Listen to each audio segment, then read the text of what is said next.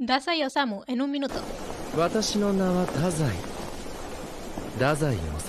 Este guapetón de acá fue miembro de la portmafia, llegando a ser el ejecutivo más joven de la misma con solo 15 años. Es muy inteligente y manipulador. Se decía que lo malo de ser enemigo de Dasai era ser su enemigo, y como no, si en los cuatro años que estuvo en la mafia se dio el lujo de ser cómplice de 136 asesinatos, 302 extorsiones y 625 fraudes junto con otros crímenes. Súmenle que su habilidad indigno de ser humano lo hace inmune a las habilidades de otros.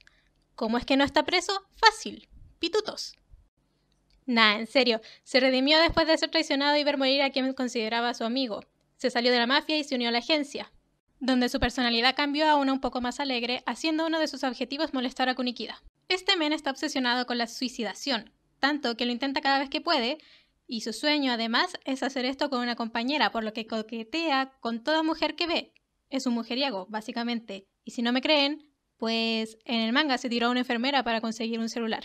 A pesar de que se redimió, aún saca sus viejas costumbres cuando es necesario, como cuando se enfrenta a Fyodor o le hacen daño al señor del café o molesta a Chuya, su ex compañero, con quien lo chipean.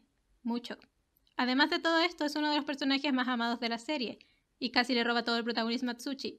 Tasai, weón, deja el protagonismo a los demás, no seas así, que te cuesta.